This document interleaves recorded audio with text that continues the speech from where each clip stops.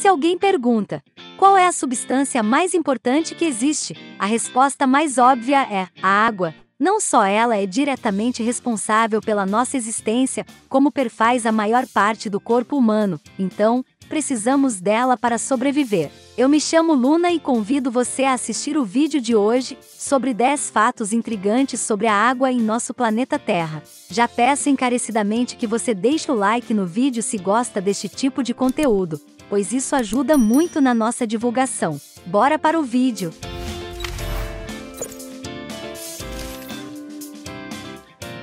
Com base em quão abundante parece ser, é fácil esquecer que na maioria das vezes é um dos recursos mais escassos, pelo menos quando se trata de água potável, ainda mais quando deixamos a atmosfera da Terra rumo à imensidão do espaço. Confira uma lista com alguns dos fatos mais interessantes sobre esse líquido e o papel que desempenha em nosso planeta. A água não é abundante. É fato que mais de 70% da superfície da Terra é coberta por água. O Oceano Pacífico, sozinho, cobre metade do globo. No entanto, na maior parte da superfície, ela não passa de uma película relativamente fina. Um estudo recente publicado pela US Geological Survey, Serviço Geológico dos Estados Unidos, mostra que se reuníssemos toda a água da Terra, oceanos, rios, lagos, lençóis freáticos e calotas de gelo, em uma única esfera, ela teria um diâmetro de 1.384 quilômetros, um pouco mais que a distância entre o Rio de Janeiro e Salvador na Bahia, ou então o tamanho de um planeta anão como o Sedna, um dos muitos objetos transnetunianos, e teria um volume de 1,386 bilhão de quilômetros cúbicos. Além disso, a quantidade de água doce é muito menor, sua esfera teria um diâmetro de 272,8 quilômetros, quatro vezes menor em diâmetro e 50 vezes menor em volume. Essa segunda esfera inclui as geleiras. A terceira esfera, com apenas lagos de água doce e rios, teria uns 90 quilômetros de diâmetro. Uma lua tem mais água, Antigamente, os astrobiólogos achavam que a Terra era a maior fonte de água do sistema solar, algo hoje reconhecido como falso. Quando na década de 90 a sonda Galileu investigou o sistema de luas de Júpiter, descobriu que uma delas tinha uma massa de água maior que o esperado. A notícia repercutiu pelo mundo, e de uma gélida lua, Europa se tornou uma sensação no mundo dos astrobiólogos como potencial morada para a vida extraterrestre. Sua água está na forma de uma espessa crosta de gelo rachada, onde podem se formar lagos subglaciais perto da superfície, parecidos com o famoso Lago Vostok, explorado na Antártida. E os estudos indicam também um oceano colossal de água líquida abaixo da crosta de gelo, mesmo sendo menor que a Lua e umas 50 vezes menor que a Terra. Toda a água de Europa daria uma esfera de 1.754 quilômetros, duas a três vezes maior que toda a massa líquida da Terra. Outros mundos parecem ter ainda mais. Titã, lua de Saturno, teria uma massa maior de água que a Terra e a Europa, enquanto o planeta Netuno poderia ter em seu manto uma massa colossal de vários planetas terras em forma de água, segundo modelos teóricos para a estrutura dos gigantes gasosos distantes. No sistema solar exterior, a presença de água em mundos como luas e planetas anões não é uma pequena fração como na Terra, mas tão ou mais substancial que a própria rocha. A água veio de cometas.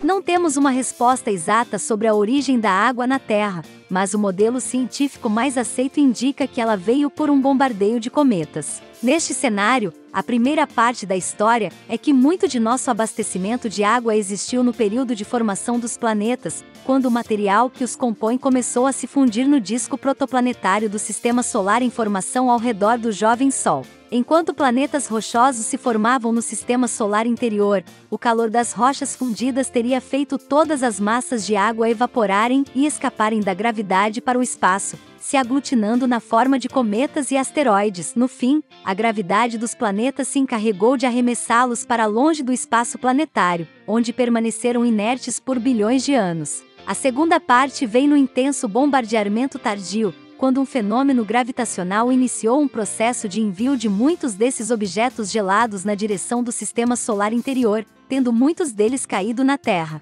Com isso, uma massa imensa de água se formou em nosso planeta, com a ajuda da pressão atmosférica da Terra. Boa parte dos materiais orgânicos daqui provavelmente vieram para a Terra da mesma maneira, dando origem à vida. Micrometeoritos em forma de chuva. Estima-se que em torno de 10 mil toneladas de micrometeoritos caem na Terra todos os dias, sendo muitos deles pequenos pedaços de rocha por vezes com pequenas frações de ferro, que cruzam nosso caminho. Acredita-se que a maioria desses pequenos viajantes, que consiga sobreviver ao atrito com a atmosfera que incinera objetos entrantes, acaba ficando presos na atmosfera superior e passe realmente a fazer parte dela. Em um dado momento, eles se misturam com o vapor de água, aglomerando-se e depois caindo sobre a superfície na forma de chuva. Então, na próxima vez que molhar-se numa chuva de verão, saiba que pode estar em contato com bilhões de pequenas partículas de poeira estelar, restos da formação planetária, talvez pedacinhos de Marte ou da Lua. Há muitos vírus nos oceanos. Através de sua pesquisa, Curtis Santo, da Universidade de British Columbia, passou um tempo significativo a contar fisicamente o número de vírus localizados em várias partes do oceano. Em última análise, ele concluiu que cada litro de água do mar contém cerca de 3 bilhões de vírus. Considerando o fato de que os geólogos estimam que o oceano contém cerca de 1 bilhão e 332 milhões de quilômetros cúbicos de água, devemos ter cerca de 4 vezes 10 elevado a 30, 4 seguido de 30 zeros, vírus ao todo. Uma curiosidade é que se pudéssemos empilhar esse número colossal de seres microscópicos, cobriríamos algo como 10 milhões de anos-luz, uma medida mais que astronômica, galáctica. Uma ano-luz equivale a 9,46 trilhões de quilômetros. A nossa galáxia, a Via Láctea, tem 100 mil anos-luz de diâmetro. 10 milhões de anos-luz daria o diâmetro do grupo local de galáxias, que abrange 35 galáxias, entre elas a nossa. Pode ter vida no fundo do mar. A maioria de nós mantém uma boa ideia das variáveis necessárias para nossa sobrevivência: água, alimentos, oxigênio, luz solar. Tudo isso geralmente considerado imperativo para a nossa forma de vida. Imagine a surpresa dos biólogos quando vida foi descoberta ao explorarem alguns dos mais profundos lugares de nosso planeta, onde as condições são mais adversas que quaisquer outras localidades já vistas. As formas de vida encontradas são comparáveis a potenciais formas alienígenas. Algumas delas, como os vermes tubo, são criaturas de 3 metros de comprimento, sem olhos, bocas ou intestinos. Outros, como bactérias que foram encontradas dentro de fontes hidrotermais, vivem a mais de 2 mil metros abaixo do nível do mar, onde não só a ausência de luz solar, como a pressão é substancialmente maior do que se poderia experimentar na superfície, e as temperaturas podem exceder os 400 graus Celsius. Para sobreviver, algumas formas de vida extraem energia a partir do sulfeto de hidrogênio proveniente das fontes hidrotermais, num processo chamado síntese química. Na parte mais profunda do oceano, na fossa das Marianas, além de outros seres, foi encontrada uma peculiar ameba gigante, com 10 centímetros. Esses seres vivem a quase 11 quilômetros de profundidade com uma pressão 1.100 vezes maior que a da atmosfera ao nível do mar. A vida nesses extremos obscuros tem sido uma grande esperança para a procura por formas de vida extraterrestre em mundos com oceanos obscuros como a Europa, a Lua de Júpiter. Tem mais moléculas do que água.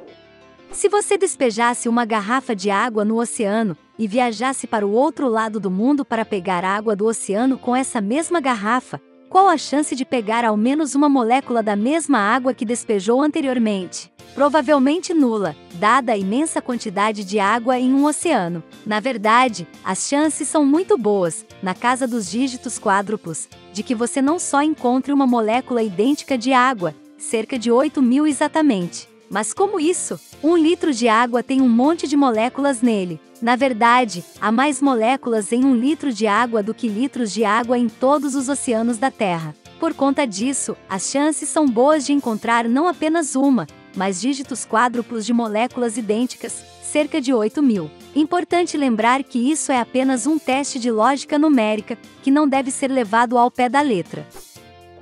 Água de dinossauro. Como vimos desde as séries fundamentais, a água tem um ciclo bastante complexo. É consumida por seres vivos, devolvida à terra, evaporada, forma nuvens, precipita nas chuvas. Obviamente, isso não é tudo, mas é um bom resumo do que acontece. Isso essencialmente significa que a água é constantemente reciclada. No entanto, as moléculas por si próprias mudam de estado, sólido, líquido e gasoso, o tempo todo. Embora, como na fotossíntese ou na radiação, elas possam ser separadas em suas partes constituintes, hidrogênio e oxigênio, na maior parte das fases dos ciclos, elas permanecem as mesmas, e já encontramos vários leitos de rios antigos que contêm moléculas de água com milhões de anos de idade, quando dinossauros ainda andavam por aí. Uma vez sabido que moléculas são pequenas e numerosas, passam por vários ciclos e processos na natureza, podemos calcular a quantidade de água que herdamos da época dos dinossauros. Segundo os cientistas, as plantas consomem 12 trilhões de quilos de água por ano,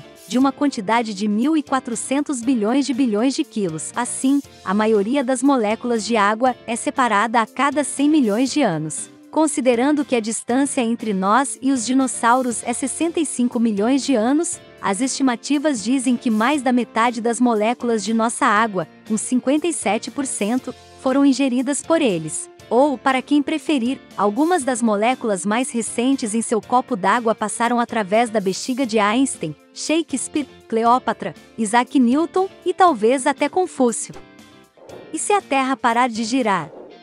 Entre outras coisas terríveis que aconteceriam se a Terra parasse de girar, toda a água se acumularia nos polos. Isso aconteceria porque a migração oceânica cessaria e toda a água se deslocaria da parte equatorial para as polares. A rotação é um elemento fundamental da formação planetária, pois equilibra o campo magnético e dá movimento às massas oceânicas e atmosféricas. Dois superoceanos nos polos gélidos e sem chão para pisar, e equador seco de um lado pelo calor solar, e congelado do outro por uma noite de meio ano, é o que uma Terra sem giro causaria. Super barragens. Talvez alguns não achem o assunto mais interessante dessa lista, mas certamente é de grande importância. É necessário uma discussão em torno dos impactos ambientais de algumas tecnologias modernas. Durante os últimos 40 ou 50 anos, temos visto uma concentração significativa em formas de geração de energia, um avanço que tem sido massivo está na forma de barragens hidrelétricas, que apesar de geralmente caras, são uma fonte de energia limpa. A princípio, parece um bom investimento, mas logo surgem preocupações surpreendentes, como o fato de que elas podem alterar a rotação orbital do planeta. O maior exemplo é a Trigorges Dam, barreira das Três Gargantas, na China. É uma barreira peso pesado que, quando cheia, contém 42 bilhões de toneladas de água, um volume de 39 quilômetros cúbicos, na capacidade total. Esta grande mudança na distribuição de massa em relação à rotação da Terra tem aumentado o tempo de um dia em 0,06 microsegundos. Isso com apenas essa barreira, sem contar as outras superbarragens que existem no globo. Certamente 60% de um microsegundo não parece muito, mas a soma futura de várias barragens operantes simultaneamente pode trazer consequências maiores, associadas a outros fenômenos naturais responsáveis pela gradual freagem da rotação, como o afastamento da Lua. Esses números podem passar a ser significativos. Chegamos ao fim de mais uma lista. Espero que tenha gostado e me diga aqui abaixo nos comentários qual desses fatos mais te surpreendeu. Gostaria de saber. Se gostou do vídeo, não se esqueça de deixar o like, se inscrever no canal e ativar o sininho para não perder nenhum conteúdo. Tchau, tchau!